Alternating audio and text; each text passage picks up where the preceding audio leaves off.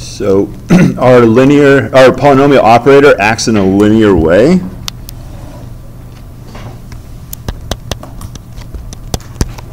So we already talked about the P of D, the polynomial derivative operator.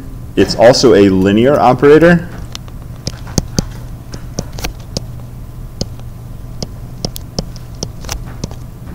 So we'll look at the word linear to see what I mean here.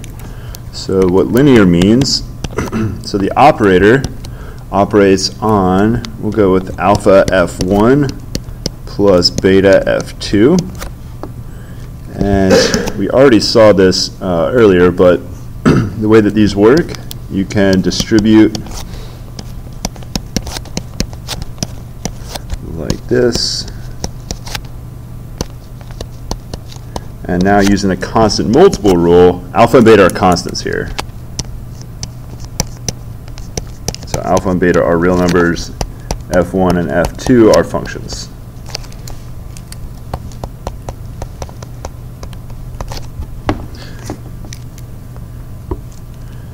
So it acts in this way. You can bring the constant, it's just the constant multiple rule, through the derivative operator.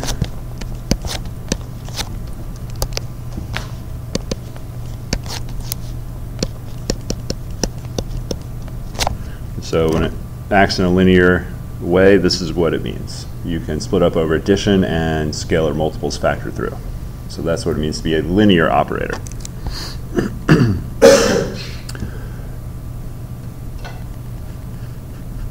so now we're going to have a theorem. We just, you don't really do need to do many more uh, practice examples watching me. You just need to practice a little bit on your own. They work in the same way that we computed them before you're basically just distributing on them and then taking derivatives. So it's all the same algebra, calculus rules you did before.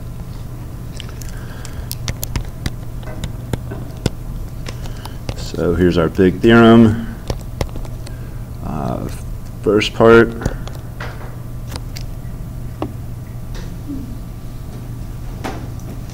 I don't have this written in my notes, but I think the following are equivalent.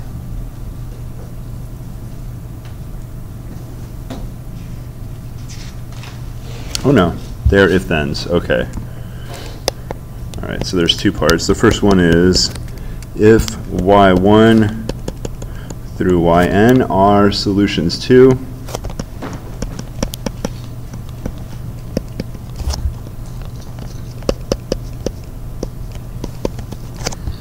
this differential equation. Now remember PD, that's the polynomial derivative operator, and it could have uh, lots of different degree derivatives. it does have to have uh, constant coefficients in front of the derivatives. So for example, I don't know if we did any, if we have any ODEs written here. No, we sure don't. All right, so I'll just write one really quick example ODE uh, on the right here in blue.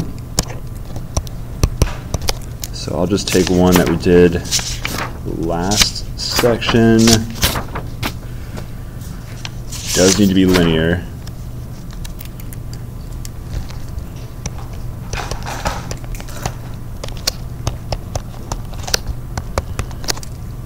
So we solved this linear ODE last uh, two sections ago. I can write this as d squared minus 3d plus 2 y. How does this work? You distribute y across here. So you have d squared y minus 3dy plus 2y. And d squared y, that's the second derivative of y. dy is the first derivative of y, also known as y prime, plus 2y. And we can write it as pd of y, where pd is that d squared minus 3d plus 2. So it basically lets us rewrite linear differential equations in terms of a polynomial operator. So it just gives us a different way to write out your linear equation. So any questions on that, what's in blue, turning a linear ODE, rewriting it as a polynomial operator?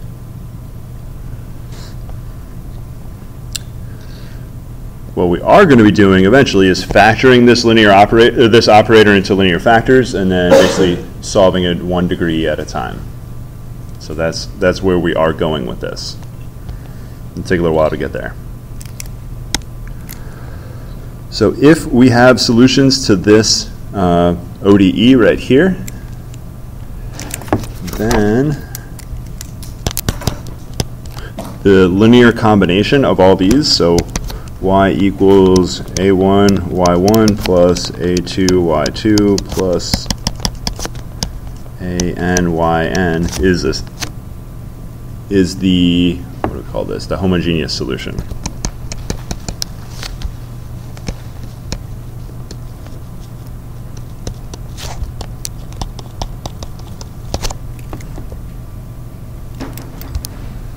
So that's the first part. Second part.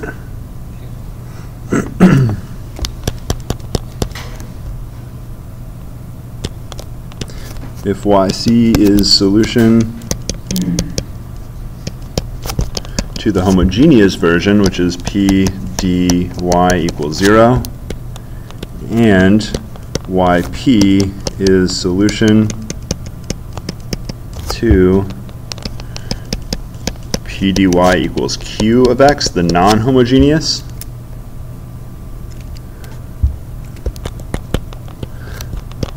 then y equals yc plus yp is the general solution.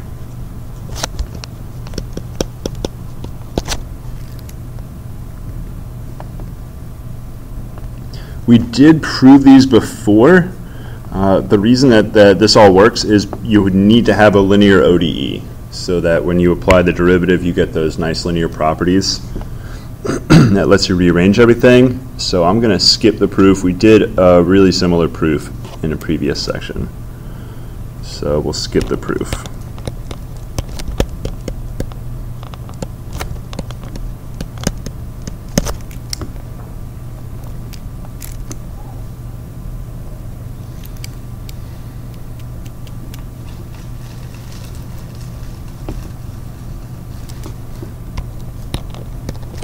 When your q of x function is a summation of some other functions, so write them as qk of x from k equals 1. I don't want to use n. We'll go to m because there may not be the same number of uh, functions here as there is degrees. If I use n, I usually use that letter for the degree of the ODE, so I don't want to use n right here. Uh, you could find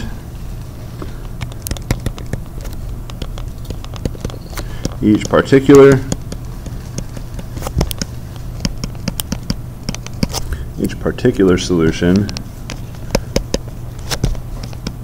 to PDY equals Q K of X. For each K from 1 to m. So we'll let yk be the solution to this ODE. So basically you take one of the terms in Q at a time and you basically get one particular solution for each term.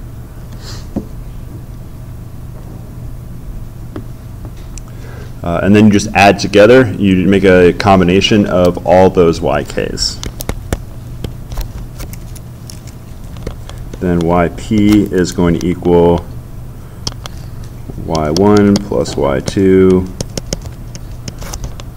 plus YM. Or you can just write a summation YK, K equals 1 to M. Now we don't put constants here because this is not the homogeneous solution. So there are not constants in front of these. This is the particular solution.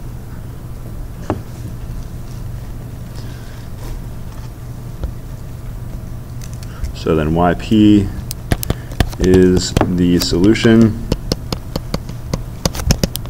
to PDY equals Q of X, or of course Q is the summation of those QKs.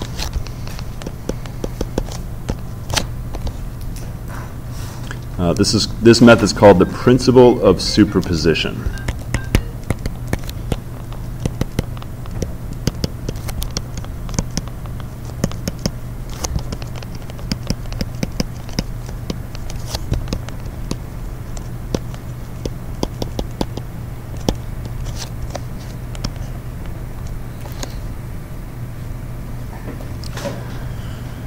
So I'm going to talk about some uh, notation for functions, and it will save us a little bit of time writing down where things come from. So I'm going to scroll back for a minute. So up here, I just wrote f1 and f2 are functions. They are functions, but they need to be functions that are differentiable. So the way that we're going to write that is this weird letter I think it's some type of weird cursive C.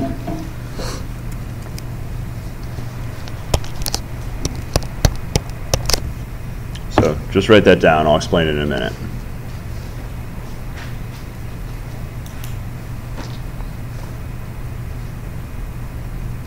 So this will describe the type of functions we need.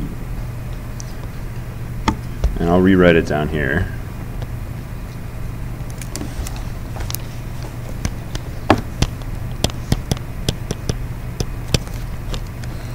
Our new notation, Cn of i. If I write it out in set notation, this is going to be all functions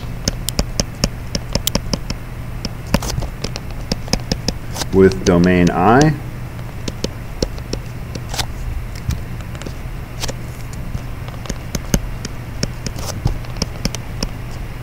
that can be differentiated n times.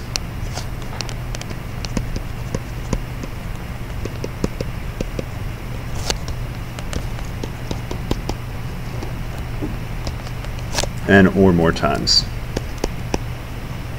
but at least n times. so an easy function, an easy continuous function that can't be differentiated is absolute value. So that's a super easy function to look at that you can't take a derivative. Uh, you, well, you can take a derivative, but not everywhere on its domain. What is that notation called again? Uh, it's, it's called, uh, we just call it C. I don't think it's really a C, but it's called Cn or C. We're about to write down C infinity.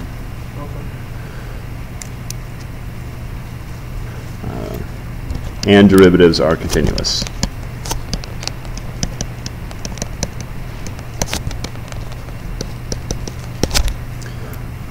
All right, so what type of functions can be differentiated lots of times? Polynomials, you can take as many derivatives as you want of polynomials.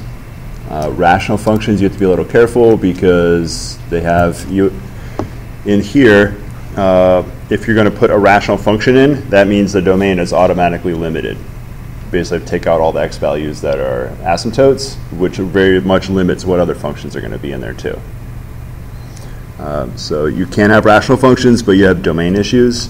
Uh, the trig functions are infinitely differentiable, but some of those have uh, vertical asymptotes as well.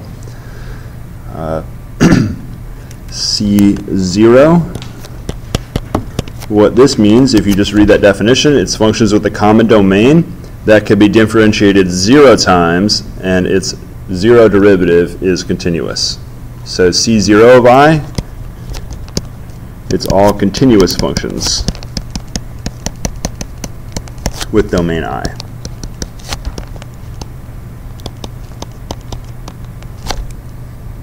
So that's C0. The other extreme is C infinity. And these are uh, all functions with domain i that have infinite continuous derivatives.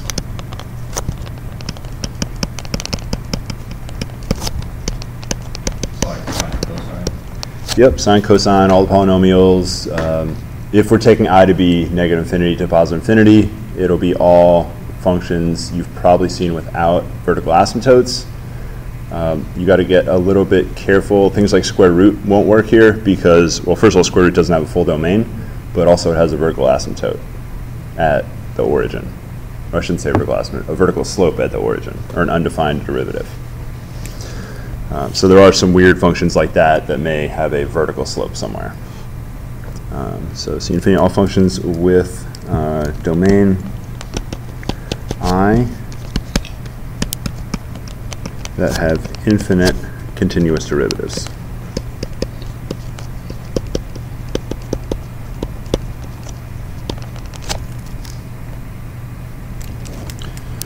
Right, so let's have some fun with notation.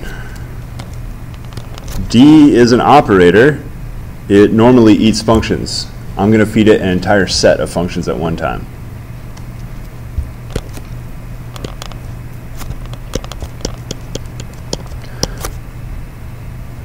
So I'm going to take the derivative of every function that could be differentiated n times.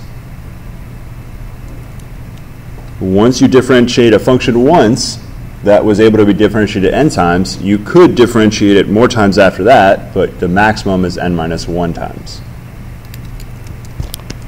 So that means the derivative of any cn function is cn minus 1.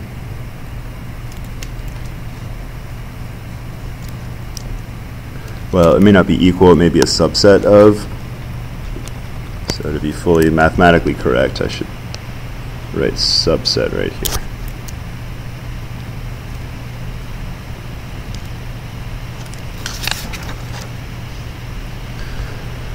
But that's a little fun with higher order math notation right there.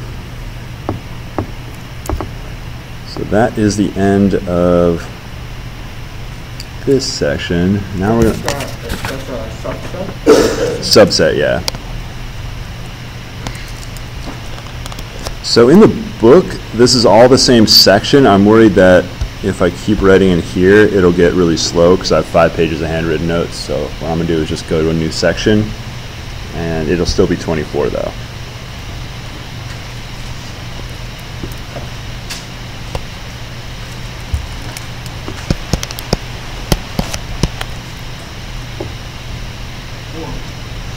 Yeah, good enough.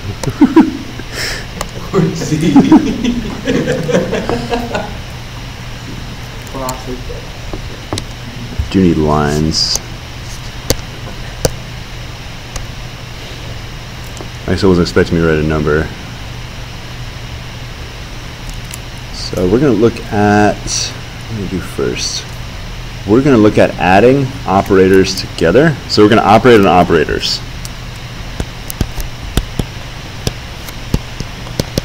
So we're going to look at algebraic properties of operators now.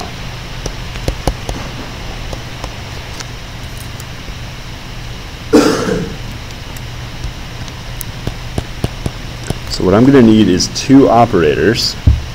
So I like to call them P of D, so I'm going to go P1 of D and P2 of D for my two different operators.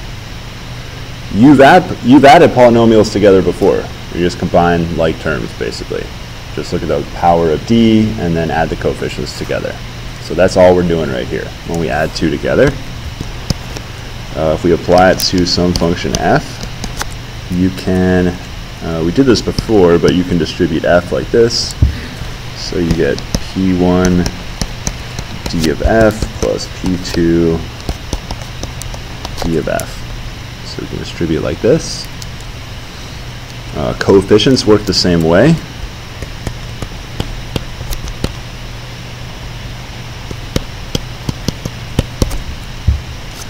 we are going to have a coefficient that's a function of x.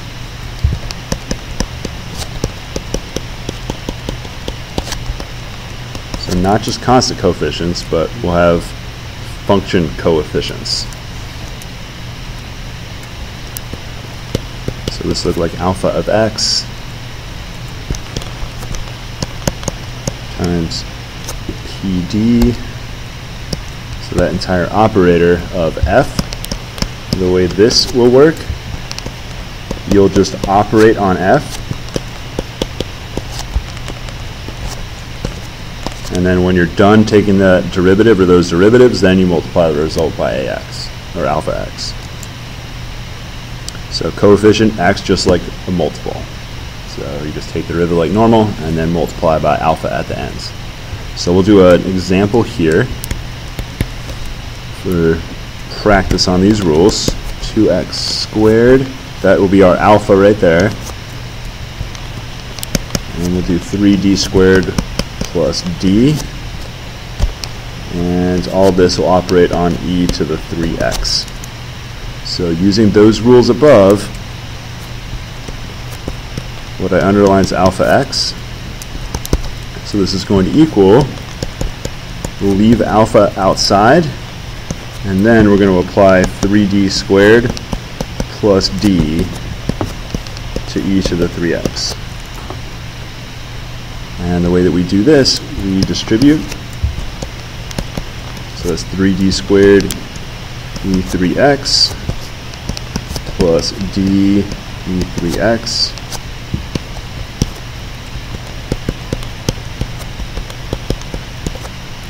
So the second derivative gives us 3 squared times 3, we get 3 cubed e to the 3x plus 3 e to the 3x. Now the calculus step's the easy one on this problem. It's everything else that's tricky. Do you notice to start this section on our notes when we started this? I'm only doing this for technical reasons because my computer's going to run slow if I have too much writing in one section, basically. So you should be fine on your paper.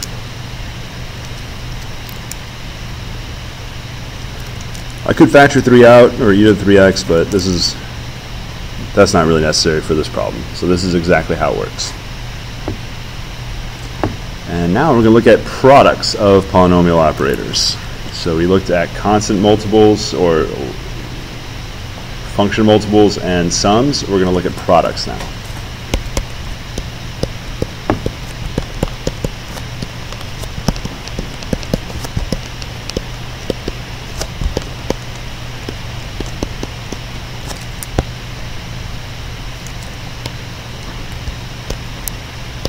So we'll go with P1D and P2D.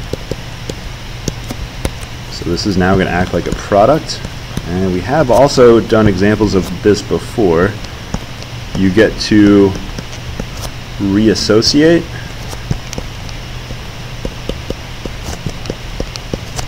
And it looks kind of unimpressive when you just write it out. But the order is really important. So on the left, it says take this full operator here, the product operator, and then apply it to f. On the right side, it says take this operator, apply its f, and then when you're done, take the result and apply p1 operator to that. So it's really just an ordering issue right here. So that's how we do multiplication.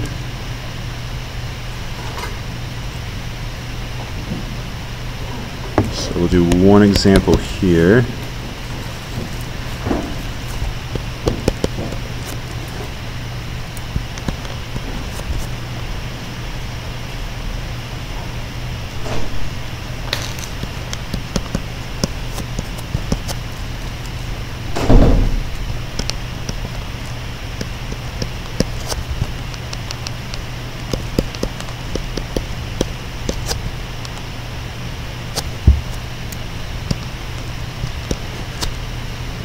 So right now, find the results of the operators in the order of operations I wrote down. So I want you to evaluate inside first, and then take the d squared minus d of that derivative you get.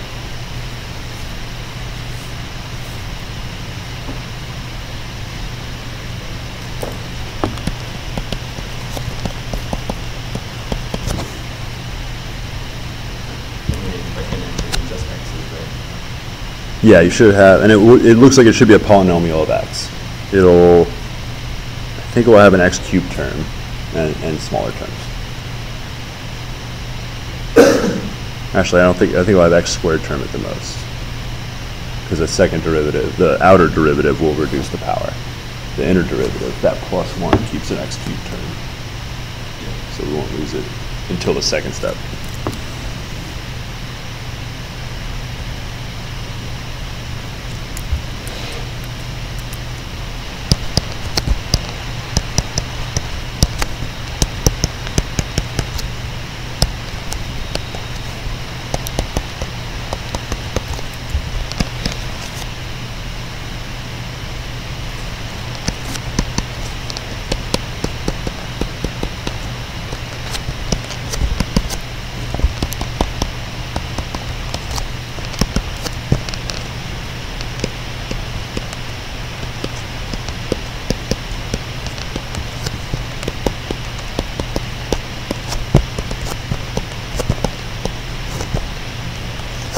Simplify your answer to. Combine late terms, simplify your answer.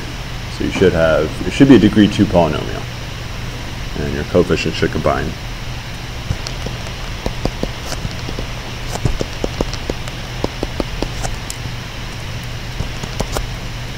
And you should not be copying what I'm doing. I'm not doing what I told you to do.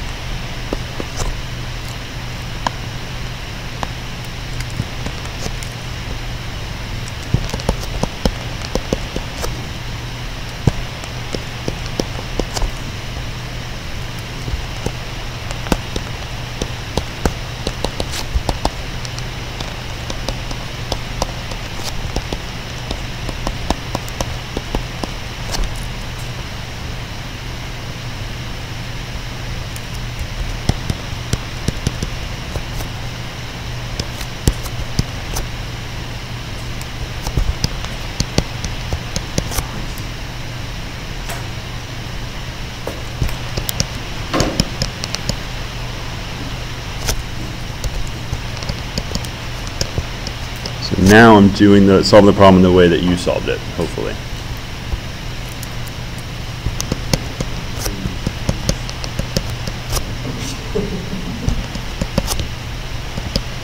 And let me know if I'm making a mistake right now on this side.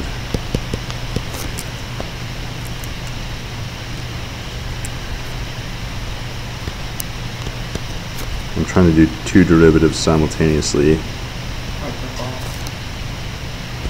Six and then zero zero minus three x squared plus six x minus one. So we got negative three x squared, six x, negative six x plus seven. All right, so you should have had that work on the left side.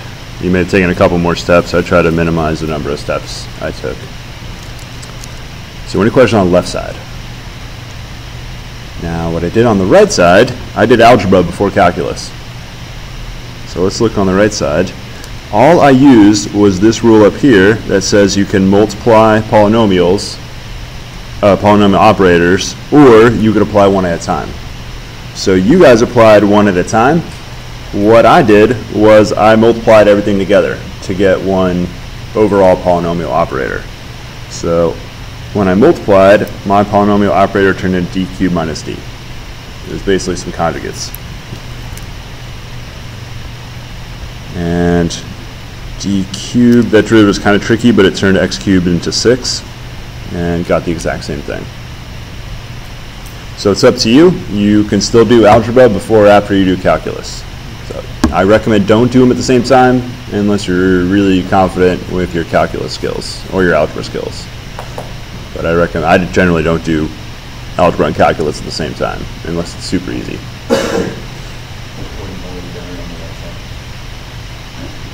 Yeah, but I still don't think I did. Yeah, there's no step in here that I did both algebra and calculus at the same time. It's kind of like like patting your head and rubbing your stomach. It's really just hard to do. Like it's easy to do one of those two, but it's hard to do both of them at the same time.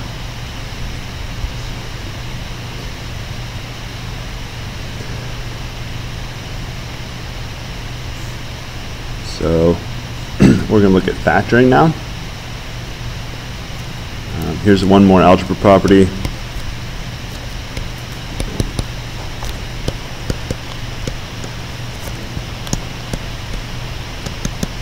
This one will be incredibly obvious once I write it down.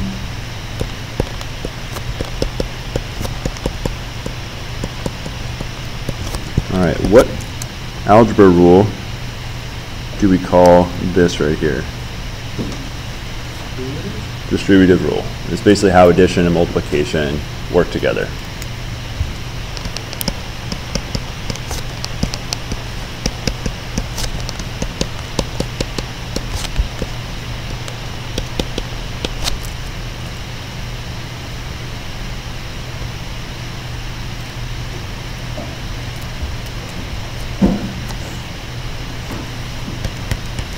So this is a nice trip down memory lane back to pre-calculus 1. So with P of D AN DN plus A1D plus A0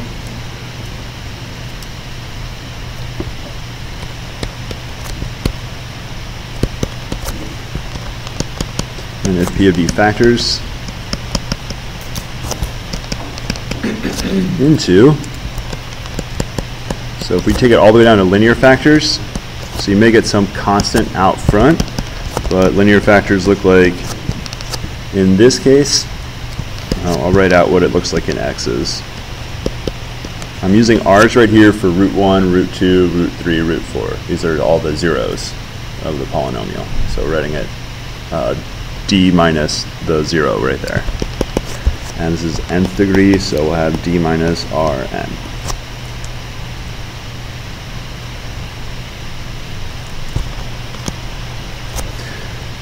So there was fundamental theorem of algebra, which you did not forget. It says every polynomial can be factored.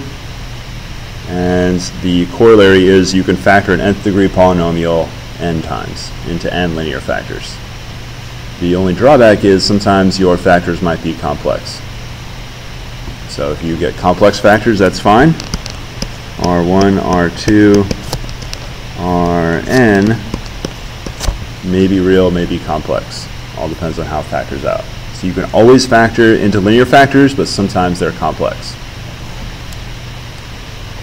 I think you had a quiz problem recently that had complex factors, or we did some example in class. Some problem recently we had complex factors.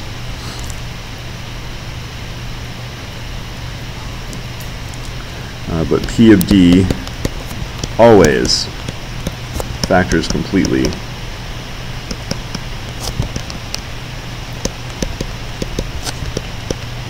over the complex numbers.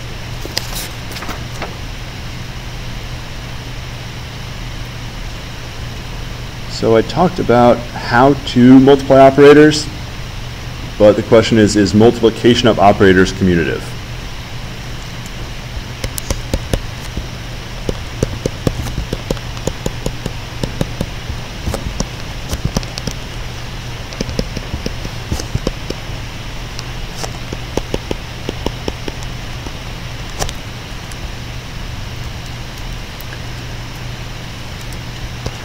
So is P1D, P2D equal to P2D, P1D? All right. This question really can only be answered if we look at how they're going to operate on a function. Or we can use some of the algebraic properties that we had earlier. So what I just wrote down actually, if the logical words are not correct here, if that, then PD factors into, yeah, so every polynomial operator will factor into linear functions, or linear factors. what we can do here You could write out some big, huge P1 operator and a P2 operator, but you can always factor those into linear factors, and it comes down to, can we switch the order of linear factors? Because if I can change all the linear factor order, then I can just change the order overall. So we're going to just do the base case, which is, can I swap the order of linear factors?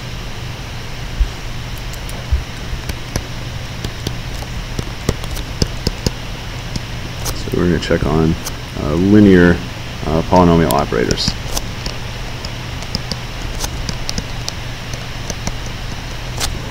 So let's take P1D to be D minus R1, and P2D will be D minus R2.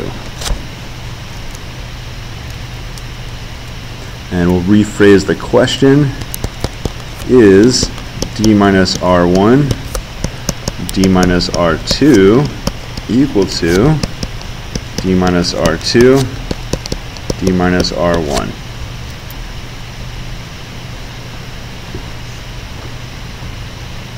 So I could uh, plug in a, a function f and then see what I get. But what I'm going to do instead is use some of the algebraic properties that we had before. So somewhere up here, here we go we'll use this property right here. This property is the distribution property. It is not uh, commutative property right here. So we're going to use a distributive property to show uh, we have commutative. So I get to distribute. I'll distribute this direction first. So we have d minus r1d minus d minus r1 r2. And these are multiplications. I don't really want to draw a dot. I'm going to erase all these dots, but for a, couple seconds, I'll write the dots in here. These are multiplication dots, not, we're not taking a derivative of R2. These are all multiplications happening here. If I put a function in f, that would be derivative right there that would actually be the operation happening. But if I don't plug in a function f, this is an operator that's not actually operated already. It's just waiting to operate.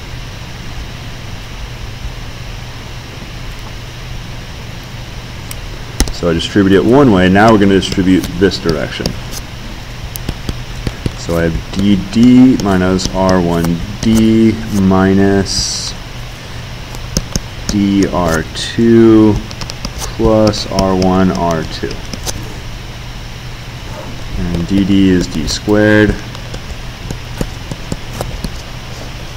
R1d, I'm going to change the order. You can swap the order of constant multiples.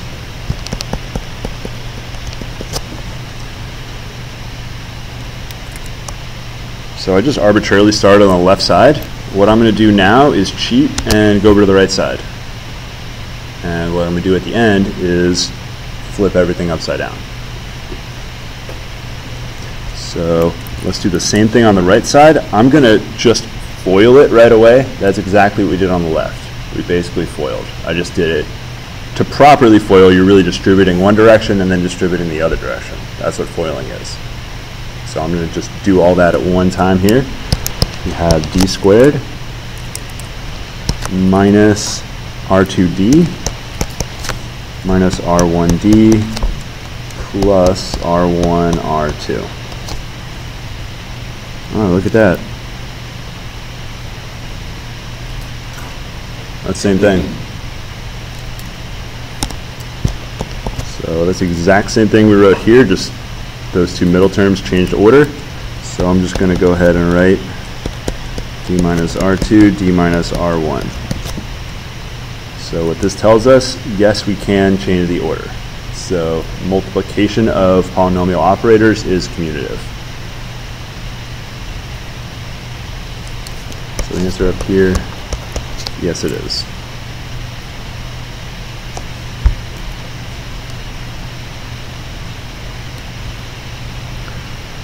You ready for function composition? Hopefully you're ready. All right we are going to find p of d plus a constant. So we'll just go with b for our constant here. Where regular p of d will just be summation k equals 0 to n ak dk. So all we're going to do is replace d by d plus b. So we have summation ak. Now, you can't just go d plus b to the k. What is wrong with what I wrote right there? Yep, we got to raise the whole d, the whole sum to the k power. Now that gets annoying if your k starts to get bigger than 2 or 3 because you have to just distribute it out. Like if k is 7, it's going to be a huge mess, 7 degree polynomial. So easier to write down than to compute.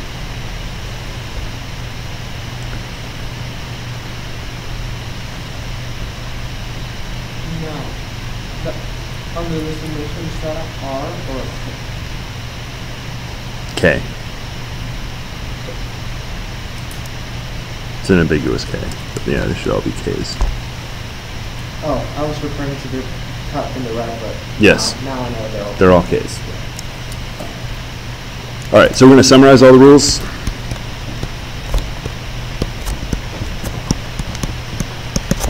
And to save some ink, we're going to let P1 just stand in for P1 of D, and P2 to be P2 of D. So I'm not going to write the of D of D every single time. Just like when we're writing out a bunch of calculus stuff, I don't write of x of x of x every single time. Just, we just know it's derivative with respect to x or antiderivative with respect to x. Uh, so we got our commutative law, which is P1 P2 equals P2 P1. That's commutative law.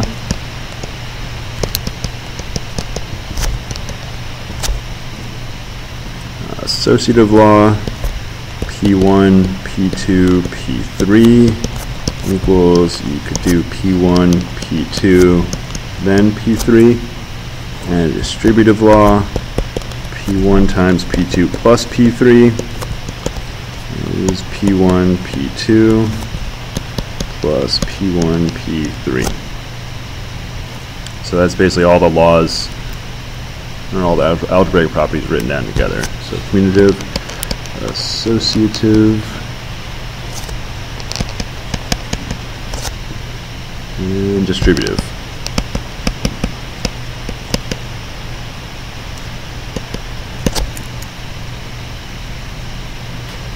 So now ready for the exponential shift theorem for polynomial operators.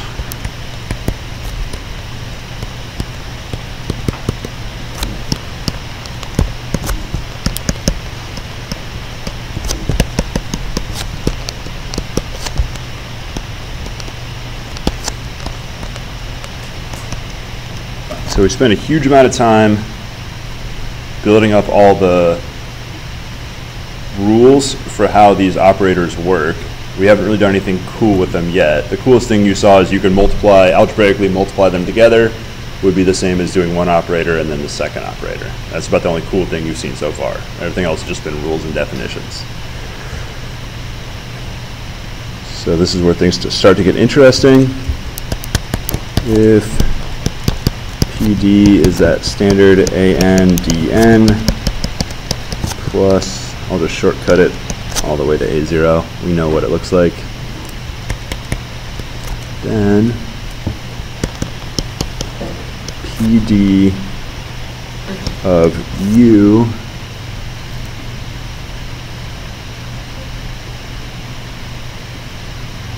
U is going to be a function.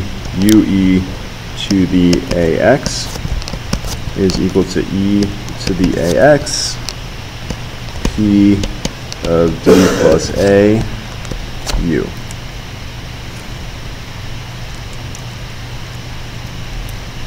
This is important enough to put a box around. It looks pretty random and arbitrary right now. Where A is a real number, U is a C. I have written as C infinity. I think it only needs to be a Cn function, but I'll just copy down what's in the notes. So what does that C infinity mean? Infinite derivatives, so we can differentiate it infinite number of times. Pretty sure it only needs to be n or n plus 1 differentiable, but that's just what's in my notes, so we'll go with that. All right, we're going to prove this tomorrow.